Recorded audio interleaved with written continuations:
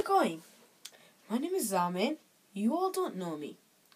Now, I'm actually a parasite expert. And I do parasites. Yeah.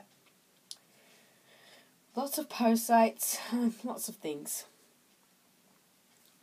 And basically, um, there's a lot of parasites out there that you gotta watch out for. Very common parasites. And the first one we're to be talking about is Strongyloides. Strongyloides is a 2 millimeter worm, probably the size of a, I don't know.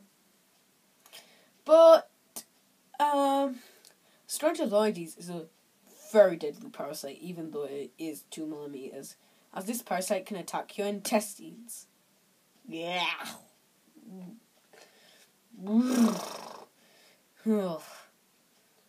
And then what happens is when it attacks the intestines, it eats it. Ugh. Okay. And then what happens is it can cause something called hyperinfection. And hyperinfection is when it eats the, you know, rapidly. Ugh. And um, what else can I explain about this parasite? Hmm. Oh yeah, this parasite can come from soil in Africa, Asia, you know, all those hot country places. Basically, it'll be in the soil. And if you walk around in bare feet and happen to get one of these parasites without knowing it's there because it's practically invisible, then it burrows through your foot, then goes into your intestines. Um, the only thing that makes this thing active is that's right steroids.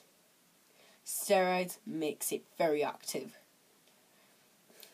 So if you happen to walk around in soil barefoot in africa please please please please please go to the doctors just in case for Strongyloides parasites. And Strongyloides is a worm if you didn't know that already.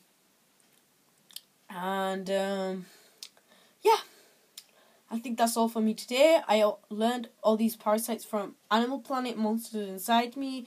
Go su- subscribe to that. But, anyways, please leave a comment, rate, and subscribe. And I will see you all later. Goodbye.